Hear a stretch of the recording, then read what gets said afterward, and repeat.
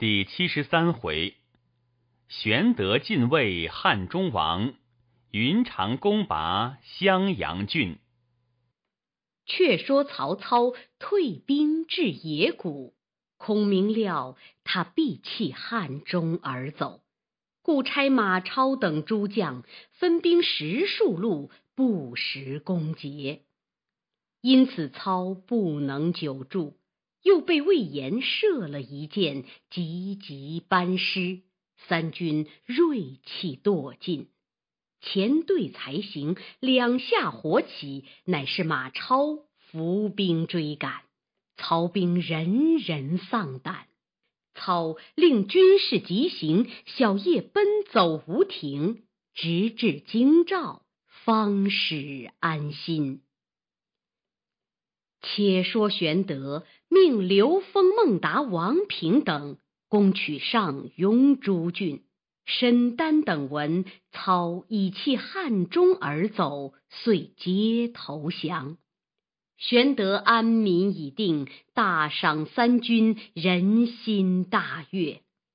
于是众将皆有推尊玄德为帝之心，未敢竟起。却来禀告诸葛军师，孔明曰：“吾意已有定夺了。”遂引法正等入见玄德，曰：“今曹操专权，百姓无主，主公仁义著于天下。今已伏有两川之地，可以应天顺人及皇帝位，名正言顺。”以讨国贼，事不宜迟，便请择吉。玄德大惊曰：“军师之言差矣。刘备虽然汉之宗室，乃臣子也。若为此事，是反汉矣。”孔明曰：“非也。方今天下分崩，英雄并起，各霸一方。”四海才德之士，舍死忘生而事其上者，皆欲攀龙附凤，建立功名也。今主公避嫌守义，恐失众人之望，愿主公熟思之。玄德曰：“要吾见居尊位，吾必不敢。可再商议长策。”诸将齐言曰：“主公若只推却，众心结矣。”孔明曰：“主公平生以义为本，未肯变成尊号。今有荆襄两川之地，可暂为汉中王。”玄德曰：“汝等虽欲尊吾为王。”不得天子明诏，是谏也。孔明曰：“今宜从权，不可拘执常理。”张飞大叫曰：“异姓之人皆欲为君，何况哥哥乃汉朝宗派？莫说汉中王，就称皇帝，有何不可？”玄德叱曰：“汝勿多言。”孔明曰：“主公宜从权变，先进位汉中王，然后表奏天子，未为迟也。”玄德再三推辞不过，只得依允。建安二十四年秋七月，筑坛于绵阳，方圆九里。分布五方，各设旌旗仪仗，群臣皆依次序排列。许敬法正请玄德登坛，进冠冕玺受器，面南而坐，受文武官员拜贺，为汉中王。子刘禅立为王世子。封许靖为太傅，法正为尚书令，诸葛亮为军师，总理军国重事。封关羽、张飞、赵云、马超、黄忠为五虎大将，魏延为汉中太守，其余各拟功勋定爵。玄德既为汉中王，遂修表一道，差人击赴许都，表曰：“备以巨臣之才。”和上将之任，总督三军奉辞于外，不能扫除寇难，匡靖王室，久使陛下圣教凌迟。六合之内，体而未泰，唯有反侧，趁如棘手。囊者董卓，伪为乱阶，自弑之后。群凶纵横，残波海内。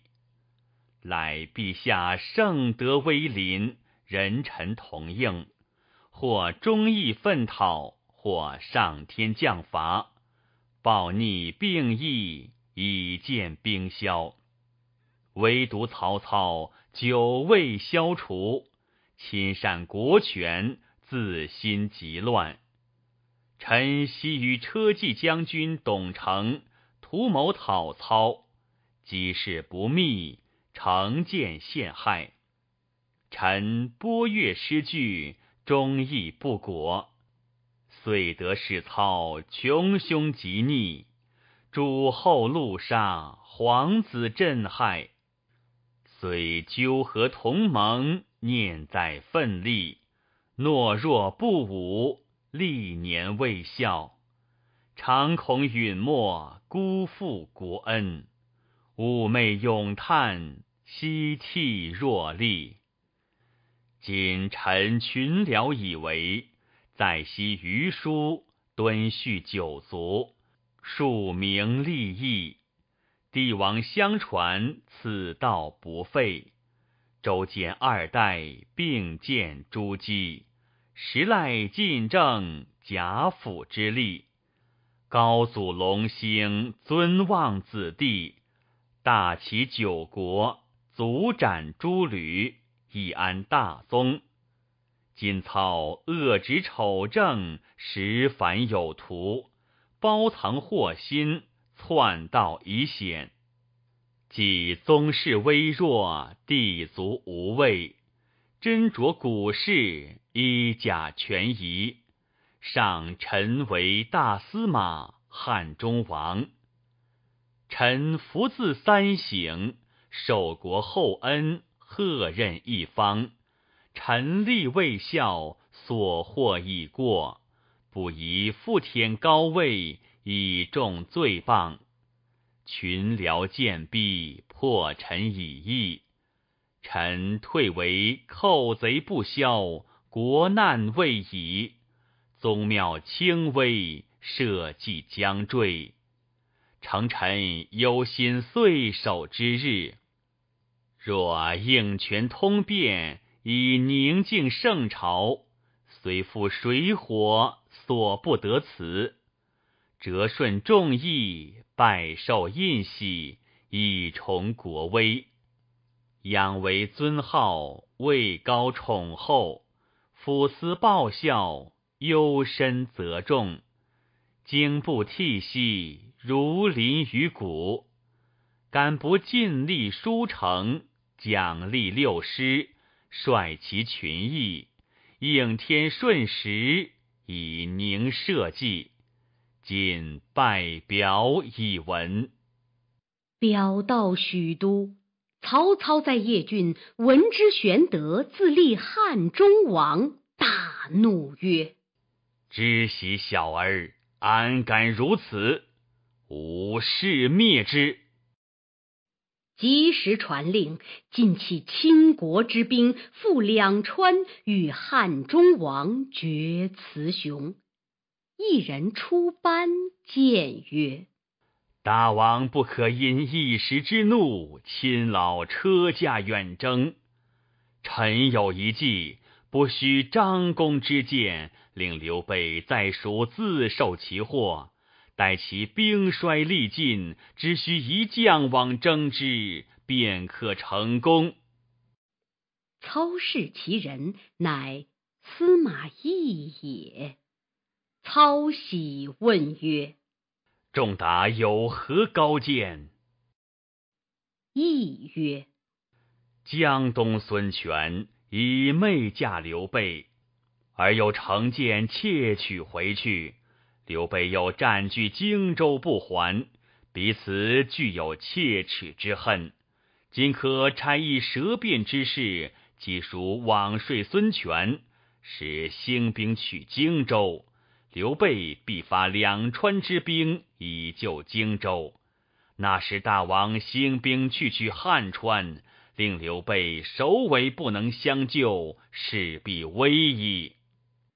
操大喜，即修书令满宠为使，星夜投江东来见孙权。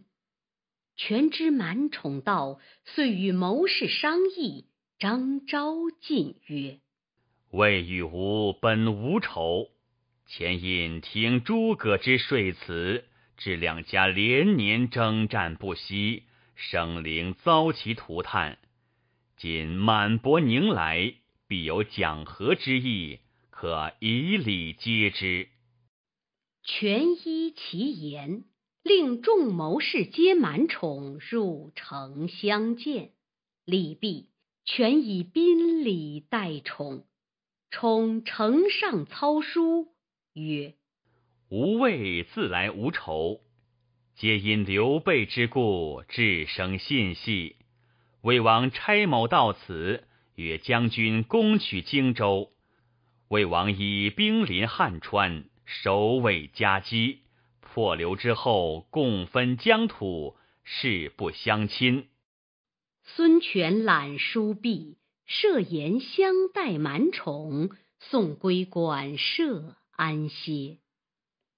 权与众谋士商议，故庸曰：“虽是说辞，其中有理。今可一面送满宠回，约会曹操，首尾相击；一面使人过江探云长动静，方可行事。”诸葛瑾曰。某闻云长自到荆州，刘备娶与妻室，先生一子，次生一女。其女尚幼，未许自人。某愿往与主公世子求婚。若云长肯许，即与云长计议，共破曹操；若云长不肯，然后助曹取荆州。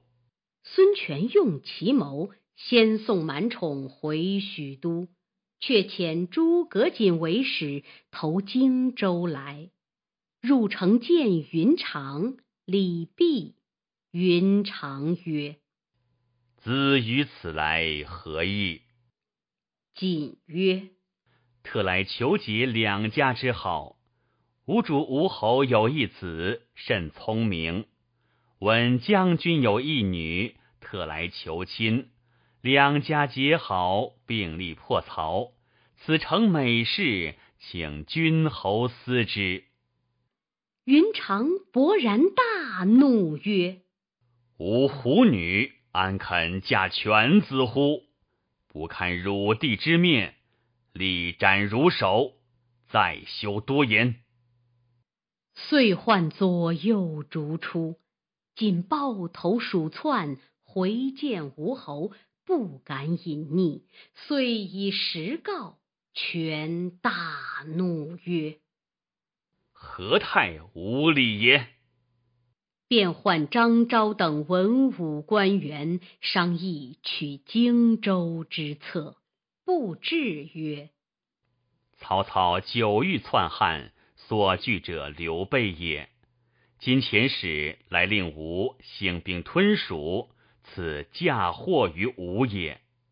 权曰：“古意欲取荆州久矣。”至曰：“今曹仁现屯兵于襄阳樊城，有无长江之险，汉路可取荆州，如何不取？却令主公动兵，只此便见其心。主公可遣使去许都见操，令曹仁、汉路先起兵取荆州，云长必撤荆州之兵而取樊城。若云长一动，主公可遣一将暗取荆州，一举可得矣。权从其意。即时遣使过江，上书曹操，陈说此事。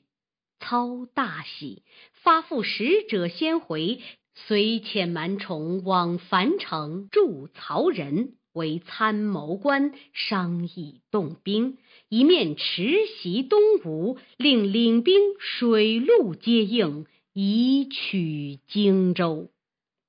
却说汉中王令魏延总督军马守御东川，遂引百官回成都，差官起造宫廷，又置馆舍，自成都至白水，共建四百余处馆舍亭游，广积粮草，多造军器，意图进取中原。细作人探听得曹操结连东吴，欲取荆州，即飞报入蜀。汉中王忙请孔明商议。孔明曰：“某已料曹操必有此谋，然吴中谋士极多，必叫操令曹仁先行兵矣。”汉中王曰：“似此，如之奈何？”孔明曰：“可差使命，就送官告与云长，令先起兵去樊城，使敌军胆寒，自然瓦解矣。”汉中王大喜，即差前部司马费师为使，击奉诰命，投荆州来。云长出郭迎接入城，至公谢礼毕。云长问曰：“汉中王封我何爵？”诗曰：“五虎大将之首。”云长问：“哪五虎将？”诗曰：“关张赵马黄氏也。”云长怒曰：“翼德无弟也。孟其世代名家。”子龙九随吾兄，即无弟也。谓与吾相并，可也。黄忠和等人敢与吾同列，大丈夫终不与老卒为伍。遂不肯受印。失笑曰：“将军诧异，喜萧何、曹参与高祖同举大事，最为亲近。”而韩信乃楚之王将也，然信未为王，居萧曹之上，未闻萧曹以此为怨。今汉中王虽有五虎将之风，而与将军有兄弟之义，视同一体。将军即汉中王，汉中王即将军也，其与诸人等哉？将军受汉中王厚恩，当与同休戚，共祸福，不宜计较官号之高下。愿将军熟思之。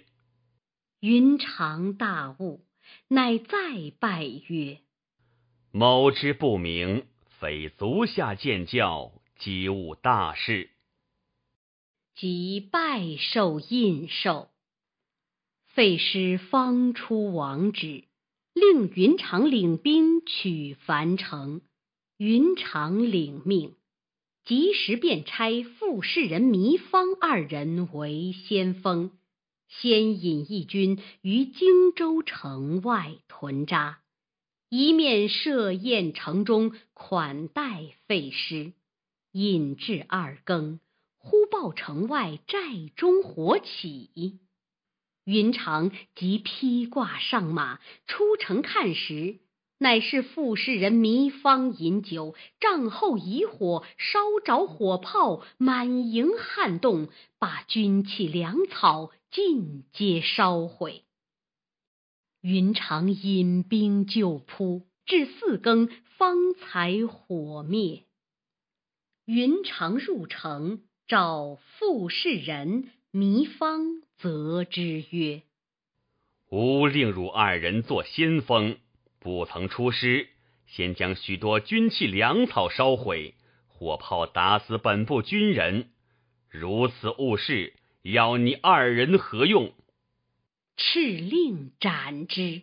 废师告曰：“未曾出师，先斩大将，于君不利，可暂免其罪。”云长怒气不息，斥二人曰：吾不堪废司马之面，必斩汝二人之首。乃唤武士各杖四十，摘去先锋印绶，伐糜芳守南郡，傅士仁守公安。且曰：若无得胜回来之日，稍有差池，二罪俱罚。二人满面羞惭，诺诺而去。云长便令廖化为先锋，关平为副将，自总中军；马良一级为参谋，一同征进。先是，有胡华之子胡班到荆州来投降关公，公念其旧日相救之情，甚爱之。令随废师入川，见汉中王受爵。废师辞别关公，带了胡班，自回蜀中去了。且说关公是日祭了帅字大旗，假寐于帐中，忽见一株奇大如牛，浑身黑色，奔入帐中，竟咬云长之足。云长大怒，即拔剑斩之，声如裂帛。霎然惊觉，乃是一梦，便觉左足阴阴疼痛，心中大疑。唤关平至，以梦告之。平对曰：“主亦有龙象，龙复足，乃升腾之意。”不必一计。云长聚多关于帐下，告以梦兆。或言吉祥者，或言不祥者，众论不一。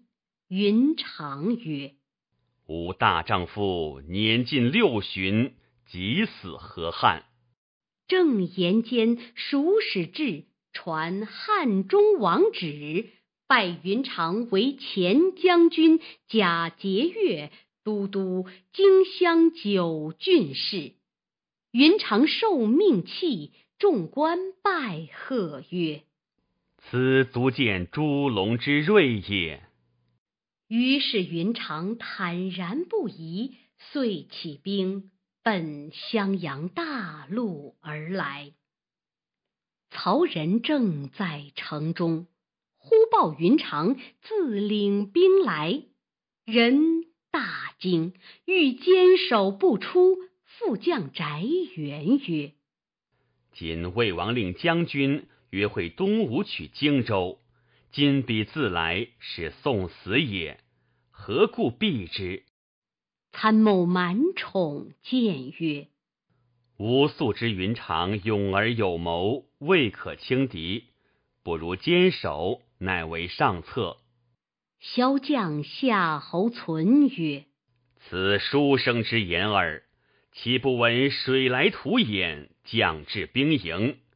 我军以逸待劳，自可取胜。”曹仁从其言，令满宠守樊城，自领兵来迎云长。云长知曹兵来。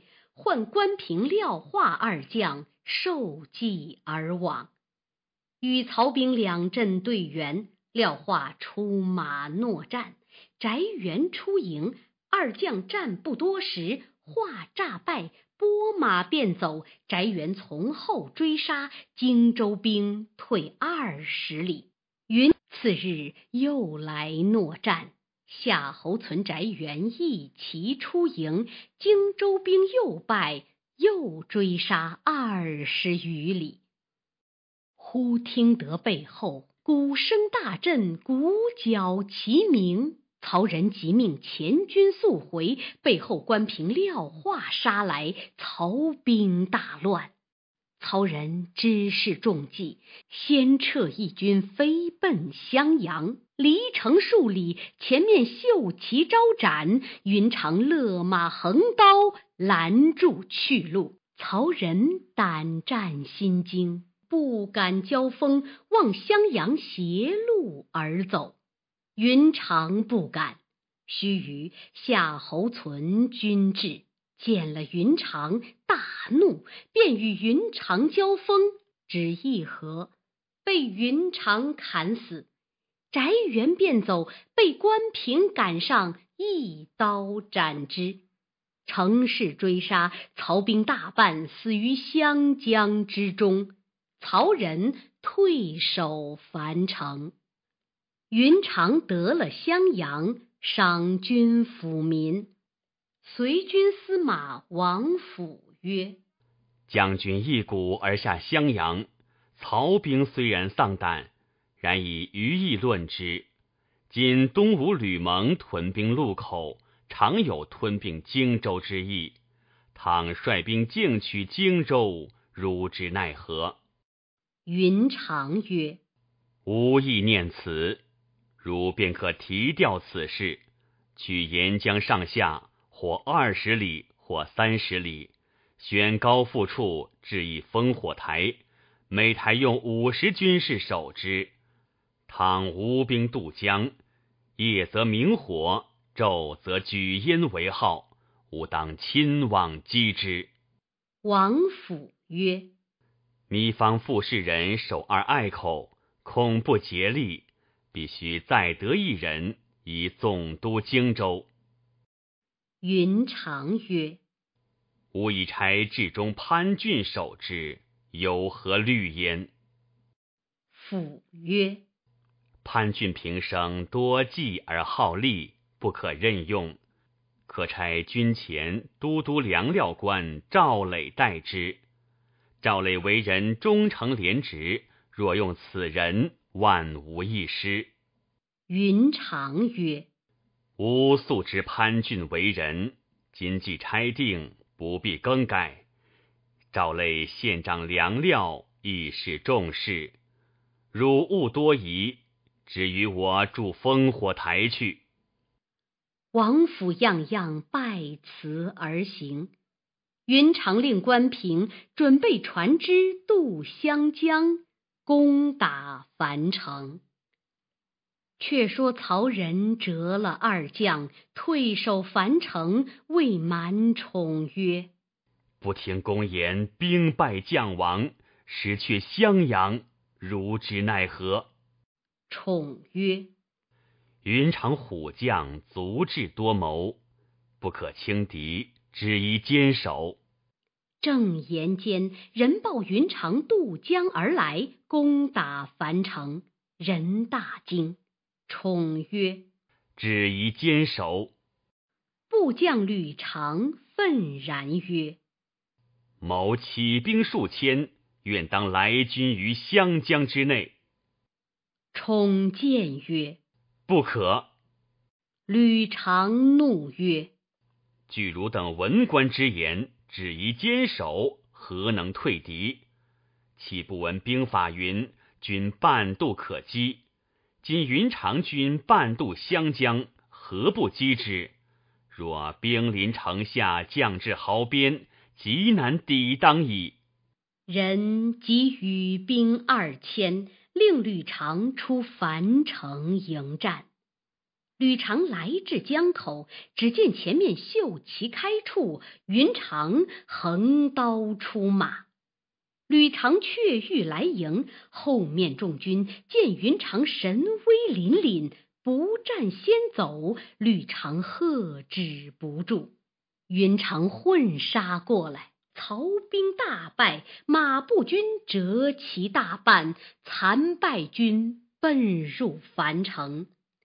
曹仁即差人求救，使命星夜至长安，将书呈上曹操，言：云长破了襄阳，现为樊城甚急，望拨大将前来救援。